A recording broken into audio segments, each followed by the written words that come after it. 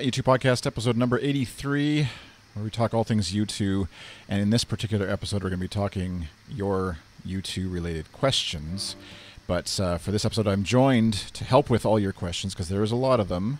It was started as an idea that I, while I was sitting and watching a hockey game, that I should just quickly do an episode before I head off to Montreal and answer some silly questions, maybe. And then all of a sudden, a flood came in, so I recruited some help all the way from Amsterdam. Uh, Caroline, welcome to the podcast. Hi, Chris. Thank you.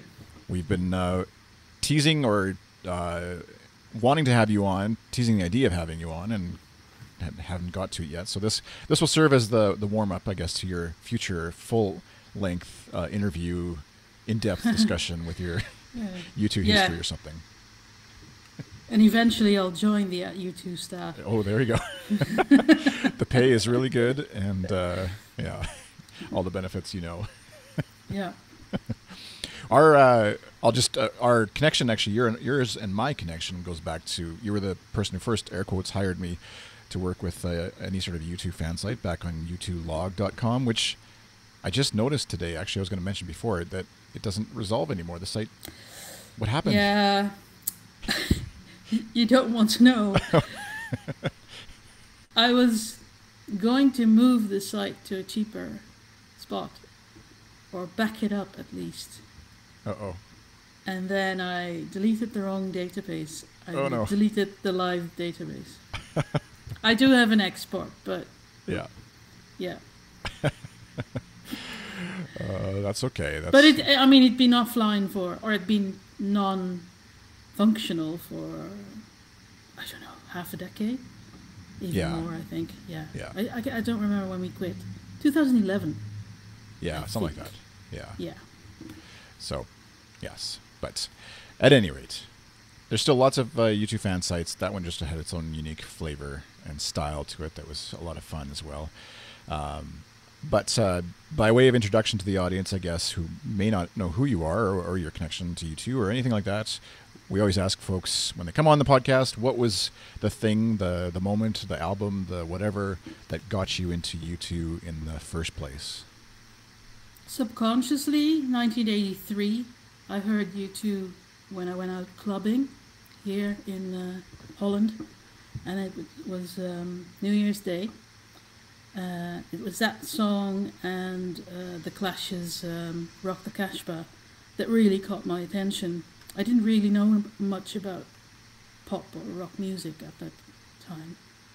So I had no idea who the bands were or, you know, what the songs were. But I remember remember those two songs, and uh, a couple of years later, uh, I think late '84. It's just one year later, I guess. Late '84, I saw um, a German live show uh, from the Unforgettable Fire Tour. Mm. And that was it. I was hooked. I'd actually heard of the band through a couple of high school friends that um, had gotten into uh, Jesus. Uh, they joined, um, I think they joined Youth for Christ or something, something like that.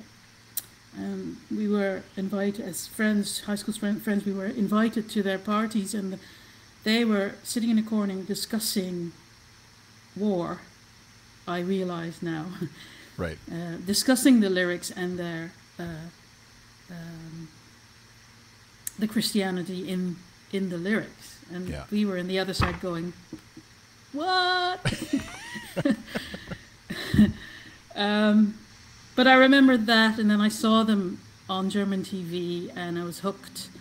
Uh, I missed their Dutch concert at the time because that was in October, I think. Um, I became a an actual fan in, I think, January 1985.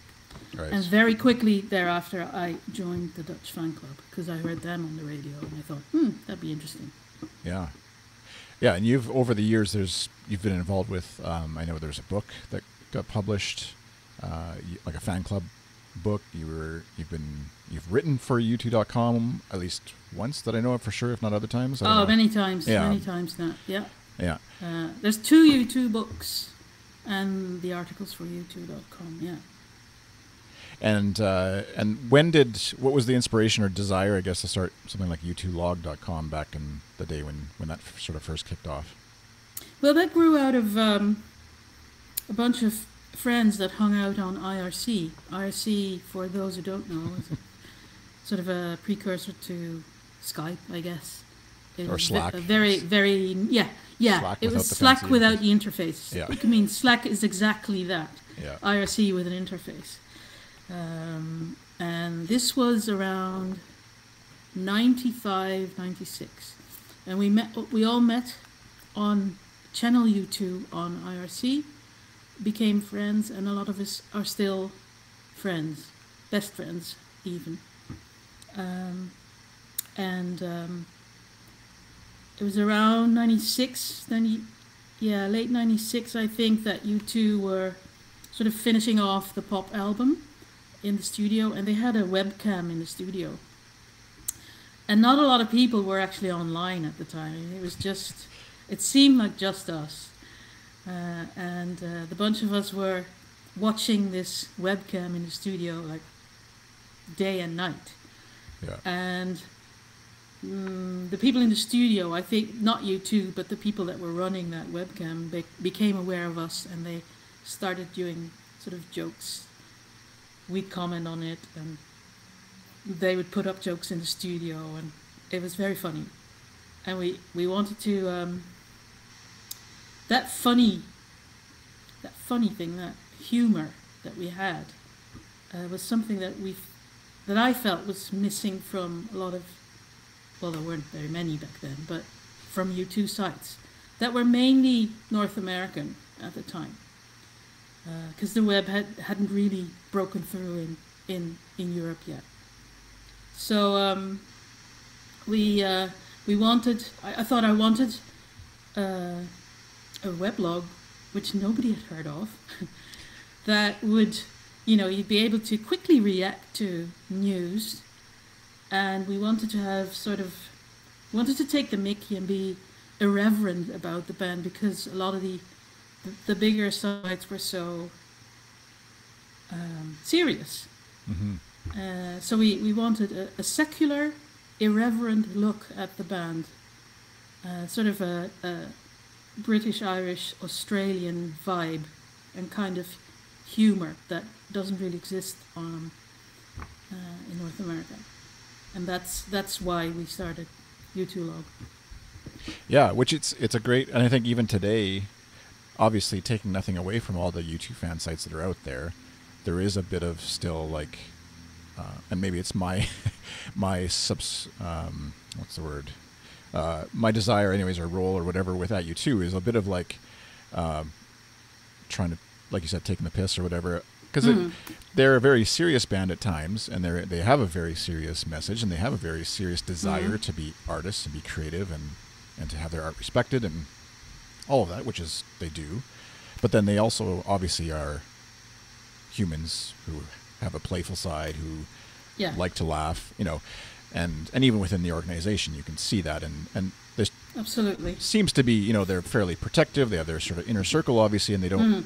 often let their guard down outside of that um, but i yeah it seems like it's okay to to laugh a bit every now and Oh then Oh yeah, I mean Lypton, Lypton Village was all about you know taking the piss and yeah yeah taking the Mickey out of each other yeah to show them how much you love them. right yeah it's what family Yeah. does kind of almost Yeah, yeah.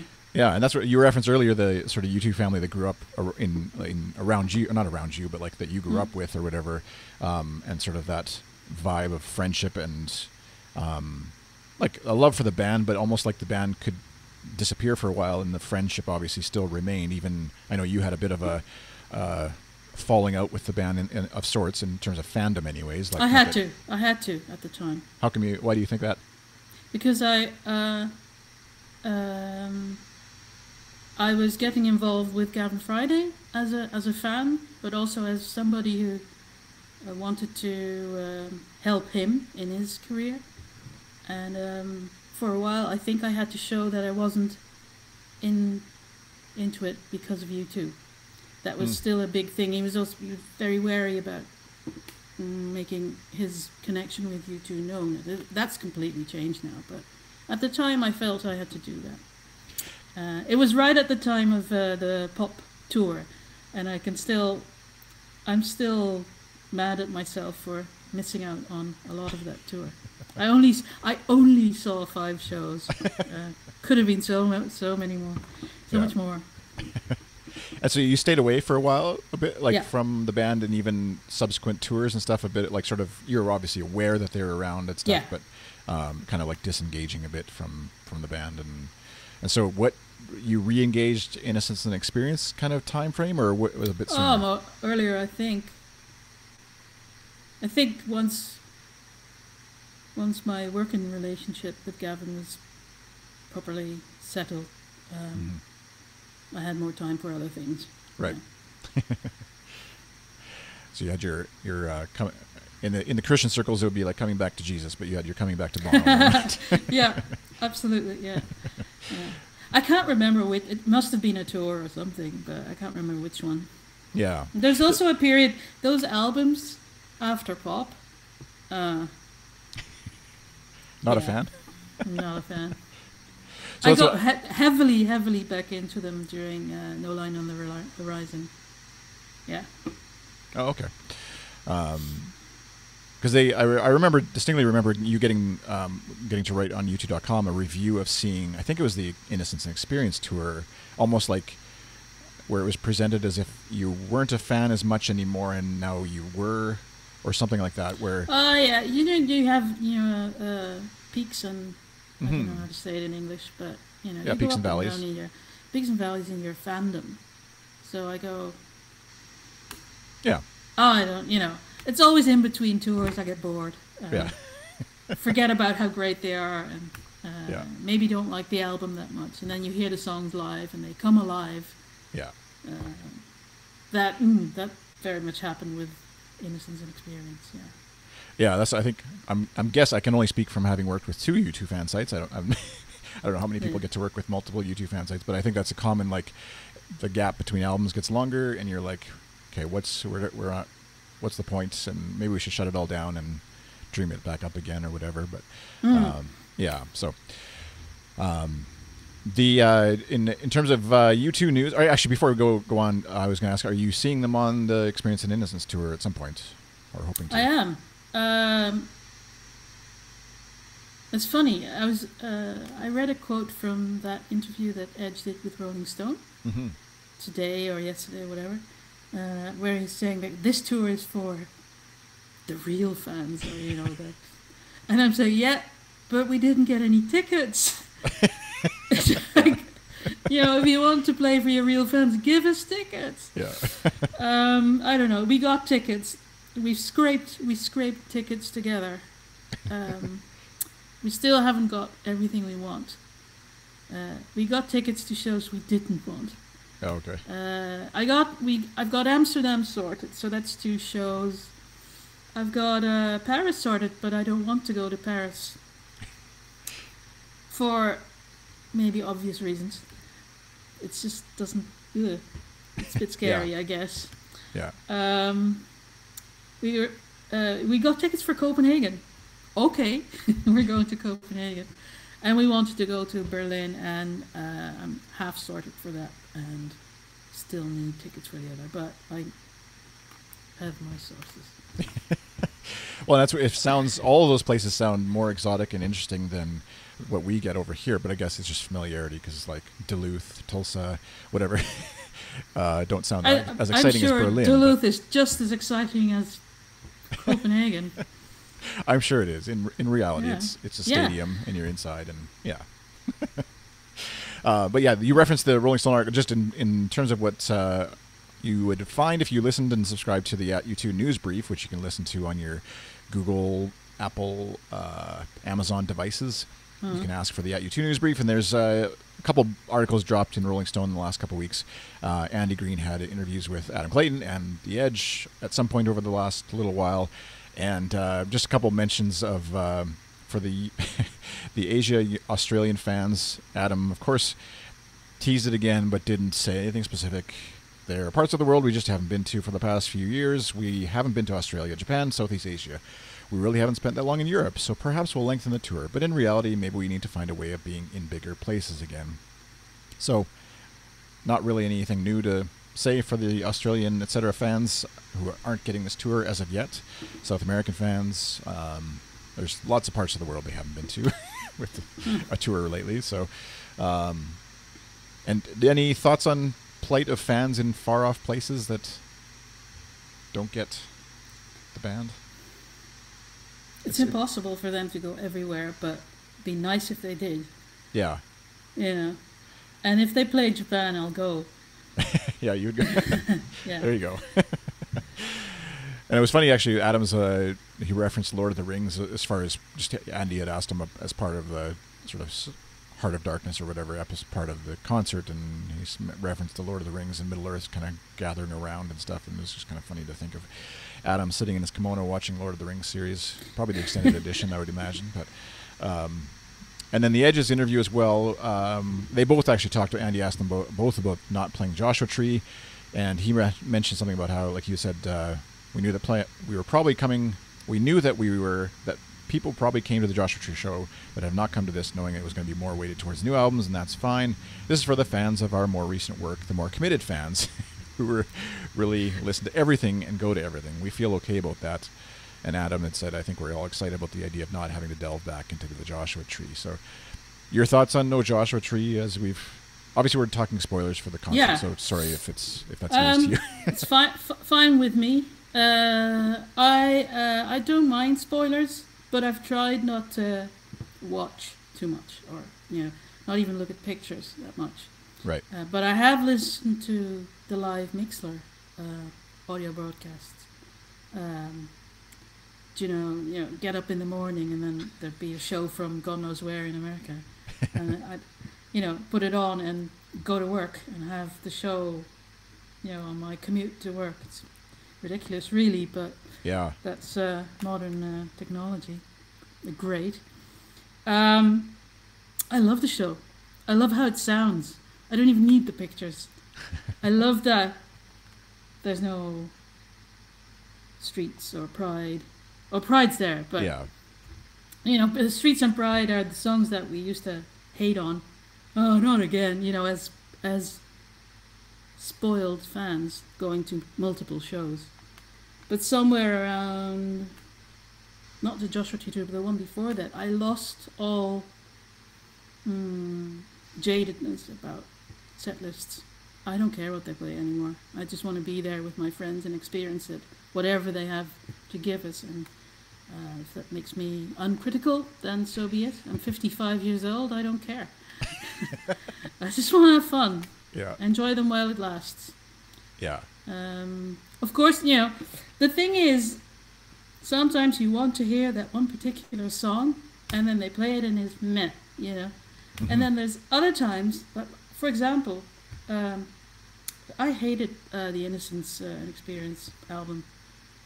Um, the songs like uh, Cedarwood Road wouldn't come alive from from the album.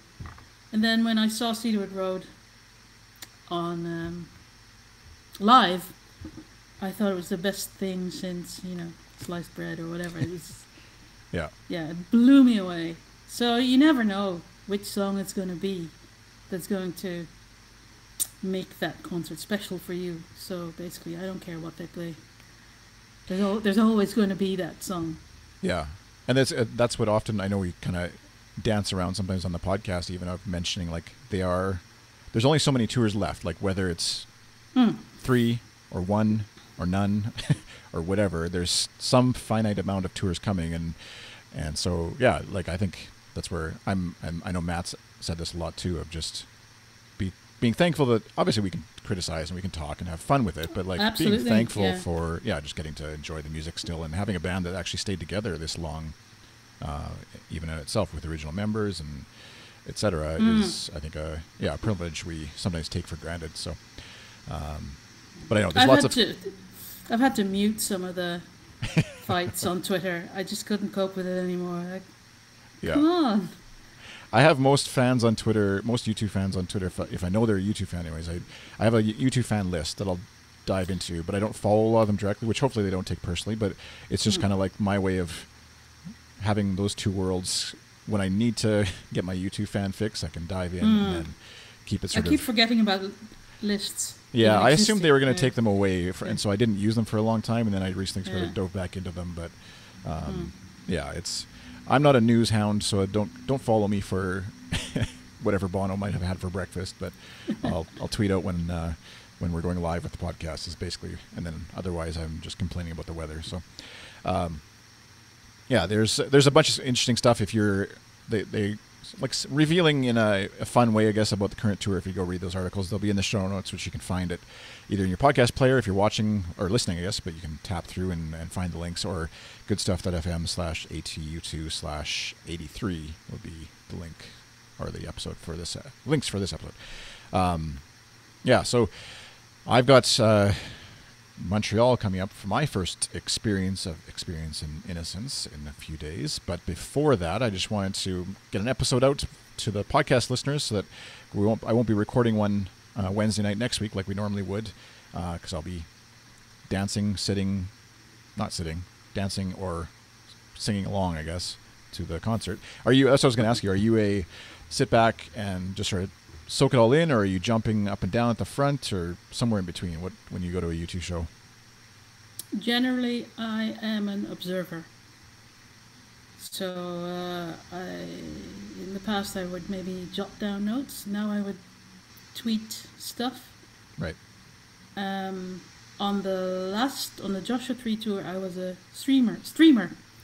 I mixlered Oh yeah. stuff. Yeah, I enjoyed that, and I'd sing along. I'd never done that before. so, yeah, yeah. so people can hear. And that's yeah, it's a funny kind of like harkening back to the old like mixtapes and recording of concerts that you know bootlegs and stuff of old. We had uh, uh, one of our staffers is a younger guy, Mason, who's been on the podcast, and he had posted a picture to this U2 Slack group of at U2 Slack group of uh, a bootleg. And he was like, "What is this?" from was, I think it was Zoo TV era maybe or something, but it was just because Yeah. there's a lot of bootlegs from that one in particular that I remember. But you know, like because it's like, well, if it's out there, it must be you know official material or whatever. And it was kind of just Mm. like, no, that's a bootleg that we paid way too much for. That now you guys just get you know a million copies of because it's just everywhere. Mm. Mixlr, I, etc. I used to be uh, a big uh, tape. Not a tape. I didn't tape myself. I did have the gear, but I didn't tape U2 gigs. But I was a. I would swap yeah, tapes all over. I had a like a thousand to twelve hundred cassette tapes, all U two gigs, yeah. uh, and I had to listen to them all to for the book we did. Oh right, yeah. Yeah. So those are all kept safely in an pre- archive. precursor, precursors to the, the the databases that we now have yeah. online. Yeah. So do you have? No, those? I, I sold them. I sold yeah. them. Oh yeah. Yeah. Probably to Aaron Govern of. Uh, No, No? to a Dutch to a Dutch fan. Yeah. uh, uh, but yeah, so it's uh, yeah, it's crazy the world we are, we are in right now, and I know that's something the band obviously is grappling with technology and how to incorporate it best into the shows and how not to, and and just play the music and all that kind of stuff. So, which leads us into in a kind of awkward way into the mailbox because we got there's I don't know if you saw the list. There's a bunch of questions, No, and we'll yeah. we'll sort of uh, have a little fun with them. Um, Okay. but uh, we'll start with uh, someone I'm not even familiar with who this is. At YouTube.com, Sherry asked, uh, "Who is MacPhisto's dentist?" So you haven't seen? Have you seen visuals? Or do you, Yeah, did you I've even want it. to know that? I guess you know what's going on. Yeah. You hear that? Yeah, I know. I know what's going on. Yeah. So uh, I could give a boring answer to that. like, Like- all of you two and all their friends and all their lovers or whatever, they all use the same doctor, so I suppose they all have the same dentist. there you go. Maybe That's what- should bleep that. Maybe that's inside. I. Maybe Well, I I would assume they would have that too. It's not. Yeah. Yeah. the- Given the the Godfather like uh, circle that they keep. Mm. Um, but maybe you know this. This is probably really deep inside information. Why isn't Adam's kimono thanked in the EI tour tour book? And, and Adam's kimono, the Twitter account at Adam's kimono, chimed in saying, "Why am I not listed in the credits? Why are there no glossy photos of me in the tour book? Why am I not featured on the huge screen at the shows? Why are kimonos and robes not included in the merch?" so Maybe you're not sleeping with the right person. Yeah, Adam is probably not the right person. You need to get to Larry. Is I think Yeah. where you need to be. Yeah, that makes sense. Just sleeping with the right person. um, at JT asked, "Do you think the Fly character may return one day?" What do you think? I could. I while you're while you're humming, so. yeah, uh, that's Yeah. my my answer to it would be I hope so, and I I uh, I could see in the the playful way that they've sort of brought back the MacPhisto character and sort of tease other characters here and there. I think maybe I don't know if he might have had the showman kind of character on the Joshua Tree tour, and maybe maybe he's done creating new characters and he'll just kind of re-inhabit. Rotate them. Yeah. yeah. Yeah. They're all the same character anyway. Uh, Carol, can you just uh just try refreshing your browser? I'm getting some buzzing from your Okay. audio. It sometimes seems like Chrome. Apologies, folks, who are watching or listening live. Is that better? No, it's still doing it, but Hmm. might have to just live with it. Okay. Um, let's see where. We? Oh yeah, and uh, this was kind of interesting one. Um, at JT also asked. So I, I sent out the tweet asking for questions. I'm just going to read them more or less in the in the order, unless someone sent in a lot, and then they may get chopped off the end. At JT asked, as they enter their 60s in a few years, uh, will we see the same presence of the band, or instead do you foresee a more conservative approach in, al- in terms of albums slash touring? Which Age doesn't seem to stop the Rolling Stones. I mean, they, I know, seem, like- they seem to be continuously touring. So, um, yeah, I just follow. I saw they they just played in Dublin at Croke Park, and it's Mm. like if they're still going, it feels like you know there's a, that's kind of like how I view life too. Is like for me, my parents are around, and so like they're still the the barometer of what old is, and my grandparents have passed, but that was like Yeah. really old. So I guess in the same way, if the Stones are around and touring. U2 could keep going. I think. Don't you think there's a desire to like scale back? They they love the fan thing, but they also hate the touring life maybe a bit. Or do they? Do you think it's they're good to keep going? I don't know. I don't think they know any better. Like this is what they do. Yeah, I mean, they wouldn't if they hated if they hated the tour life, they wouldn't do three tours like back to back. uh, back to back. Yeah. Yeah, yeah. Um, at uh, Beth and Bono asks, which disappointing shirt are you going to spend forty dollars on in terms of U two tour merch? Have you seen any of the? I've seen some. I rarely, rarely buy tour merchandising. Yeah, I had tweeted at her because she's been to eleven or so shows already and would have a better idea of the merchandise or, than I would. I'm a I'm I'm either too cheap or too worried that I'm going to buy the wrong size at the show, and then like I have actually from the 360 tour, I think I have a or no, yeah, how to dismantle atomic bomb. I have a shirt that I bought that's too small, and so now it just sits in my drawer. It's a nice memory, I guess, but unless I lose a whole bunch of weight, it's not going to Yeah. fit. So I'll wait for I have. Uh, I bought the Cedarwood Road uh, T-shirt, oh yeah. uh, and then I found out that Gavin designed it. So Oh, there you go. yeah, uh, but I don't wear it. I just don't wear band shirts. Yeah. Uh, Beth Bono also asked, "What do you think is the disaster that strikes in the middle of the How to Hold Me, Thrill Me, Kiss Me, Kill Me intermission video, which Gavin has a role in? That's I didn't even think of that until I just yeah, I didn't. I, I guess I haven't looked too closely. I've just listened to it, not Yeah. really looked at the visuals, so I don't recall seeing a, a disaster. Yeah, that's what I'm. I'll have to see it too. I, I'm someone else at New Wave Dame asked. I'm curious too. In all, in Los Angeles, Bono hinted at it being pop. Thoughts? so, be, Oh, they need to get over that. yeah. I love pop. Maybe it's just Larry that needs to get over it too. Uh, Okay, at T Darby seven one nine asked, when do we see Bono play the three chords he knows? I, I think with the bike accident he had and stuff, I don't know if he's playing Eh, guitar again. Maybe he can play one. One chord or, or the song one. yeah. If they actually, if Edge tuned a special guitar for him, you could, and it was a song in D, then you could just strum the whole thing and it wouldn't. Yeah. Yeah. And just do bar chords maybe or whatever. So, unfortunately, I don't, I don't know that we'll see him um, officially play guitar again, but uh, on tours we'll see. At JT asked, "Do you see the 2019 as the year of we have to go away and dream it all up again for the band?" Uh, JT's very focused on the band getting old and stopping. Um, it feels like they the band, I, I think they're they're on a they have sort of second wind. yeah I think they're in a very creative um, uh, era phase era. Yeah, phase. Yeah, yeah. Mm, they shouldn't stop. yeah. I, I know Go Edge. even fur- go even further. Go out there. Yeah. Mm. Like I feel it feels like they could do the equivalent like sort of Zoo TV or um Achtung Baby and then Zooropa and then the what was like Pop's whether debatable whether Pop was the like the third part of that trilogy, let's say, but whatever it maybe could have been or should have been or whatever, but uh, if Songs of Innocence and then Experience and then whether they do Songs of Ascent or just something completely different. I feel like yeah, there's a something in the water right now Yeah. for them. Do you remember the Glastonbury gig a couple of years back? Yes. Yeah. Yeah. I, when I watched that show, I thought, it's over. That's that's it's the end, end of the line. Like this is not working.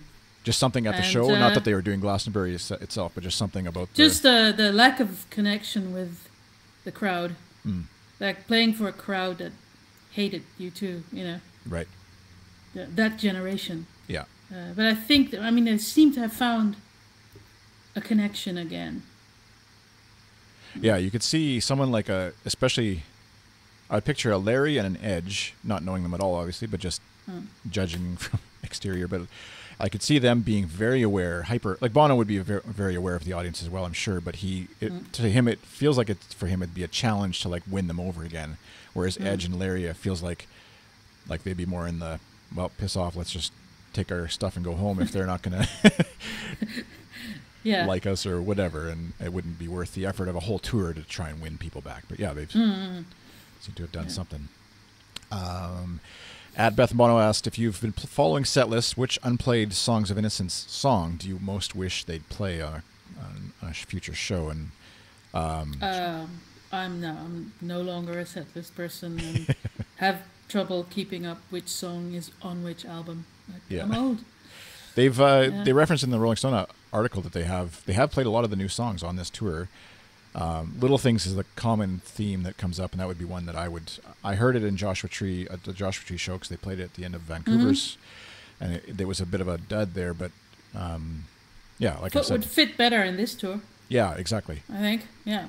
And then Showman, I'd like to see them just have fun with. Like it feels like a fun sh- Mm. song, but I don't. I can see how it wouldn't fit thematically necessarily in this tour. But I've only recently started actually listening to the album now that I've heard it live.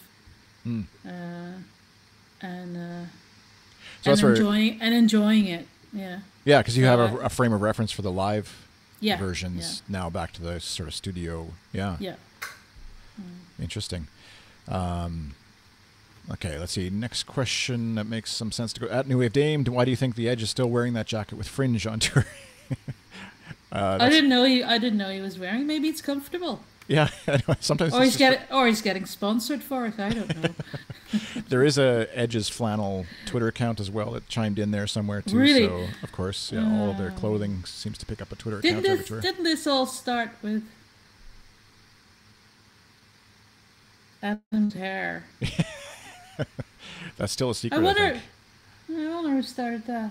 I don't remember. I can't remember either. Uh, Uh, at Atomic Bomb asked, "When are they coming to Australia?"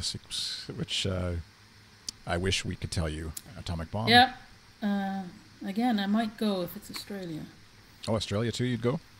Yeah, because uh, one of the original U2 log uh, crew uh, has moved back to Australia, and he's you know one of my best friends, and I want to see him again. So. Yeah.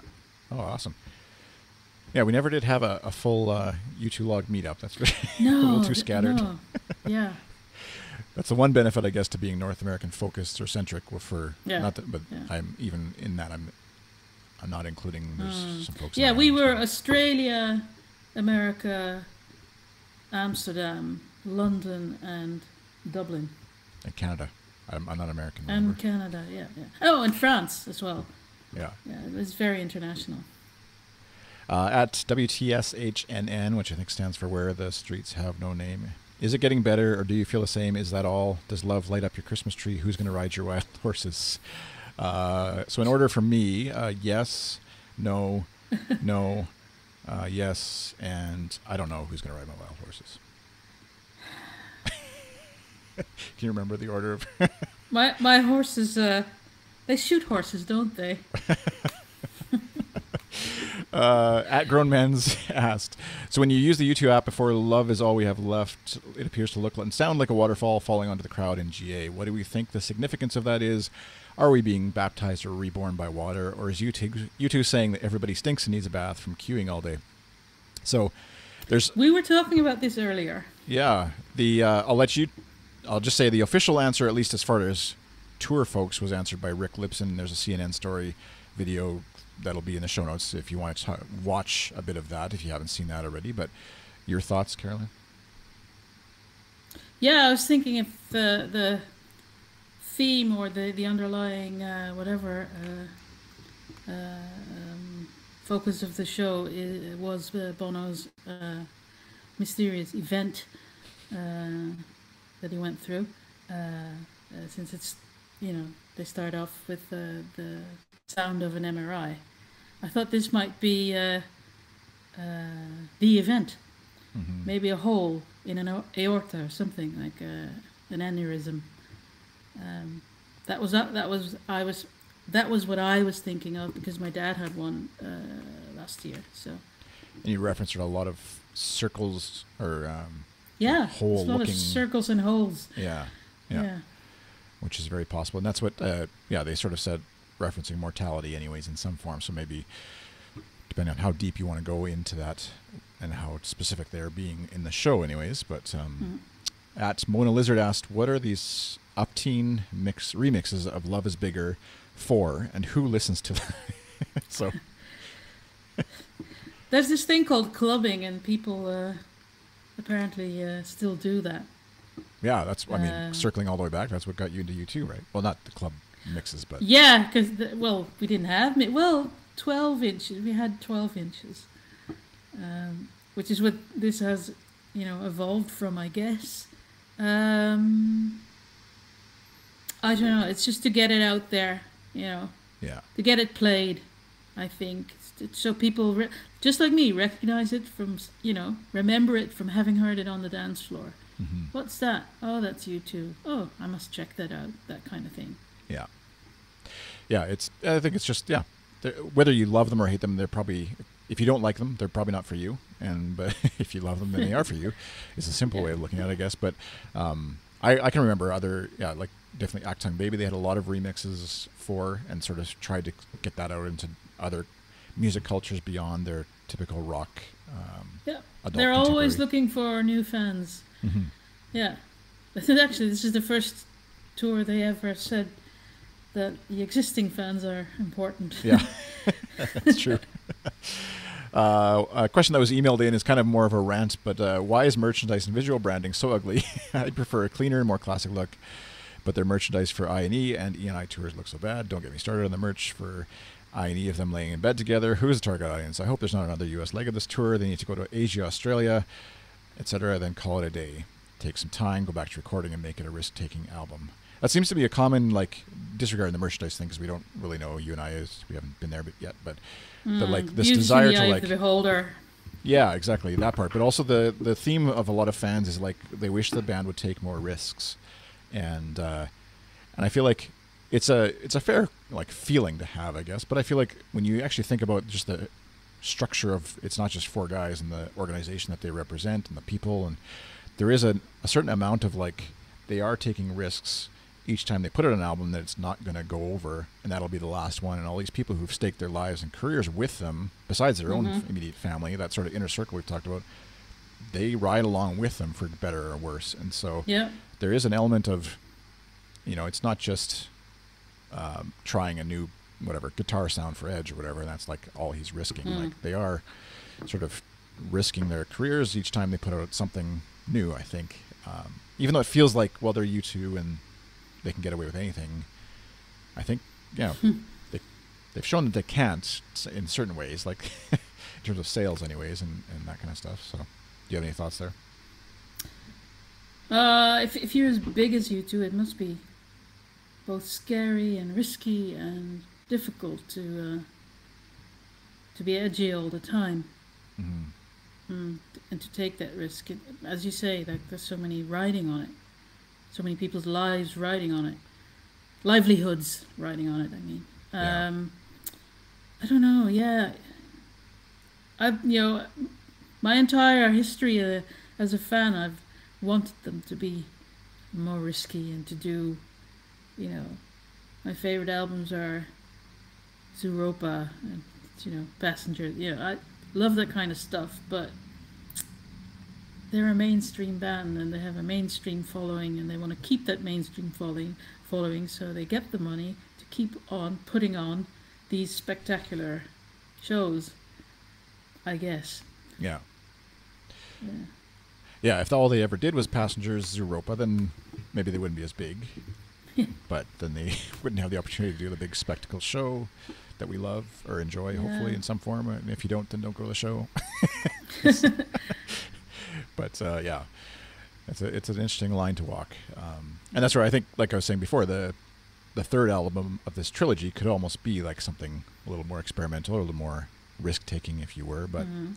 but then they do risk. and what's more risky than putting your own life up on your own life up Yeah. on stage like that for everybody to see and Yeah. it's i mean it must be terrifying for them every night It's kind of like they. I was I was explaining this to someone just a bit about the tour, and I could feel that the other person who's not a U2 fan, I could feel like them sort of glazing over a bit with like, oh, that's just Bono. He always does that.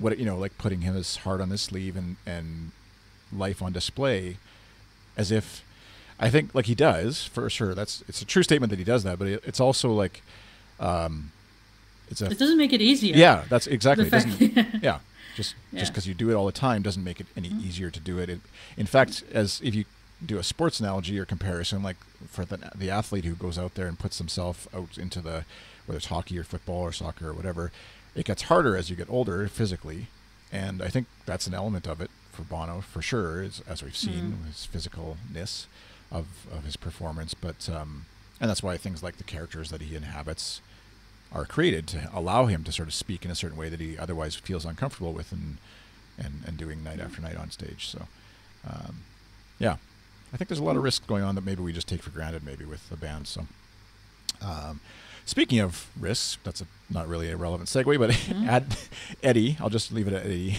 because I Mhm. mispronounce his name every time he sends a question in. Is there any way to get across to the band that the current relevance of Mothers of the Disappeared in the news and to the tour theme outweighs the meaningless challenge of not playing anything from Joshua Tree? I would write it on a little piece of paper, and when you're in the GA, just hold it up yeah, to the stage. That's how we used to do it back in the day. that probably is like the most meaningful, or, or that, or get Andy Greene from Rolling Stone to ask them a question about it. But Yeah. that would be the second most powerful way, probably. But yeah, I just saw you know how YouTube and whatever or Instagram I think it was randomly showed me uh like some video of a U2 fan that somebody posted on their Instagram account from years ago when they held up a sign that said drummer or guitar player knows how to play song X and that's how they got on stage. Like it's really that s- simple. Yeah. Um, and then you can shout in Yeah. the mic saying "Mothers of the Disappeared" and then start It pays to advertise, as Bono said, I guess. Yeah. uh, at Burner Cafe asks, uh, this would be relevant to you when as the tour heads overseas uh, from me, but home to you. I really hope they play American Soul when I see them in Berlin because I want to hear it live, but can't imagine they will play the American section of the show in Europe. What do you think? If they don't, what could they play? So you haven't seen They the show, but you've yeah, They, they can play it. I mean, we're not unaware of what's going on on the other side of the pond. It's Mhm. just as, it's just as relevant here, and they might as well use a Dutch. When if they play Amsterdam, they might as well put up a Dutch flag there because we've got the same problems going on over here, exactly the same. yeah. So Yeah, actually, a good test of that for folks will be actually the Montreal show coming up next week is what they do. Because as much as sometimes the rest of the world lumps us together, Canadians definitely don't enjoy being, especially the negative side of American news, don't enjoy Mhm. being lumped in with America. And and there's we we we don't look down our nose at Americans or by any means. We consume a lot of their media. We are Absolutely. involved in the news cycle, et cetera, and politics are very close because we're geographically very close.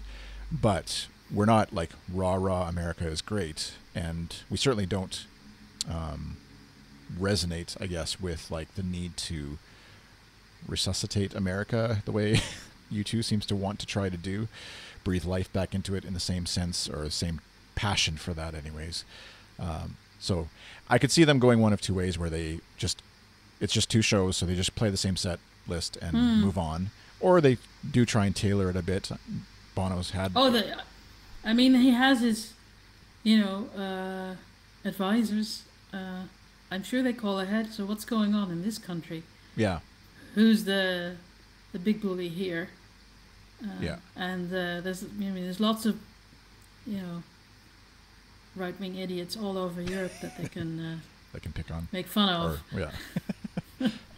Which is what I was going to ask whether whoever that happens to be, but like we, I've seen photos, and and again, you don't have to reveal anything you're not supposed to or whatever. But like, uh, whether it's Gavin Friday directly or other people, but like you know, he's write, writing down notes as he's watching the show, and then however much of their inner circle is also giving them feedback and stuff. And we joked, I think, in the last episode about like the video interns like nervously approaching Larry with like a new graphic for you know American Soul or whatever, and him like you know throwing his tea at them or whatever. But do you have a sense of like how how big, how wide a swath of feedback do they actually take for a concert or a, a performance where they actually give it a, obviously anybody's free to throw criticism at them, but um, like that inner circle, is it the four of them plus Willie and, you know, Es Devlin has been quoted a lot about production of the show and not much beyond that or It goes beyond that.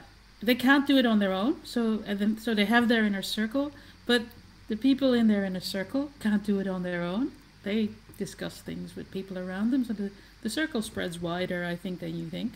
right. Um, but um, I can only speak from my own little experience. Not, I don't know how the rest. Uh, I mean, the example with like the the intern, you know, coming up with their own little graphic. that might happen. I have no idea. I, Yeah.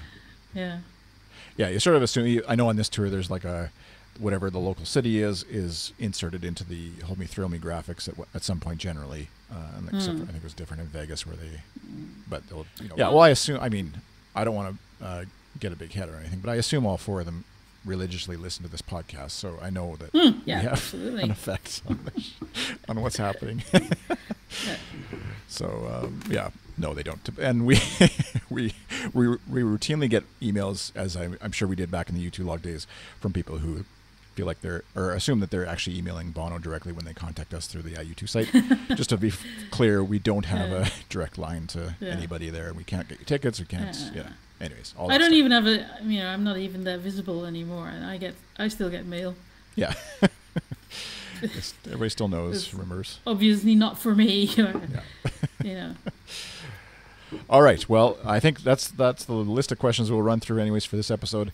You can always send in questions, comments for the podcast by using hashtag ask at you2 on Twitter. You can tweet at me. I'm iChris if you want to. There's also a contact form on at u2.com, like I mentioned. I think it's under the about and then staff contact or something listing, where you can send in a comment if you want to anonymously or or not. And uh, that's how you can get your comments and questions onto the future episodes of the podcast. Caroline, if folks are wanting to uh, tweet at you or keep up with what you're doing these days, what's what's the digital world look like don't for at me. Caroline? She'll just block you. So no, It's at CVODB. CVODB. right. And any digital homes these days that you do? You, do you still do a website? Do you do those things anymore? Who has websites? GavinFriday.com. There you go. Official website. Uh, U2 log. U2 log just still exists on Twitter. Very, very occasionally I might uh, post something. I'll, stri- I'll I'll Mixlr from it. I'll try a Mixlr Berlin and uh, Nice. Copenhagen and stuff like that. Yeah. Cool. Now that uh, we have uh, roaming in Europe, Oh yeah. I can do that. nice. Um, and also for folks who are listening, uh, if you listen to this, I guess before next week, next Tuesday, Wednesday, uh, the Montreal stop is happening. That's the next tour stop as we record, anyways. And uh, there's uh, an Acrobat tribute band, and December, the band from Scotland that we've had on the podcast, are putting on a pre-concert party at the Piranha Bar. The link to that, um, where you can buy tickets, it's ten dollars in advance or fifteen dollars at the door. Uh, you can buy tickets to come to that, and I'll, I'm planning to be there uh, along with a whole bunch of other folks. I'm sure it's going to be a fun, fun time. Getting excited and uh, in anticipation of the U2 concert the next night, and then also uh, I just want to mention U2Songs.com is doing an event after the first show where the lead singer of another U2 cover band called Elevation, Sean Brady, is doing a solo show, taking requests, performing other band so- stuff as well as U2, and it's that one's going to be at Hurley's after the show, an Irish pub that's open till about three. So again, links for all that stuff if you're trying to keep up with what's going on at uh, goodstuff.fm slash ATU2 slash 83. And of course, you can also follow at U2, twitter.com slash ATU2, uh, facebook.com slash ATU2com, instagram.com is the same. And of course, just visiting at u2.com, atu2.com. All right. Thanks, Caroline. This is fun. Thank you. And Yeah. uh, we will, uh, can't wait to hear your singing along with the Experience and Innocence tour when it rolls through town or nearby. Yeah. And uh, thank you all for listening. Thanks for watching. If you were watching as we record live, we record live generally Wednesday nights, uh, North American time, anyways, uh, and uh, broadcast on our Twitch channel, twitch.tv slash good stuff underscore FM, I believe. And you can be notified if you follow us along. All right. Have a good day. See you later.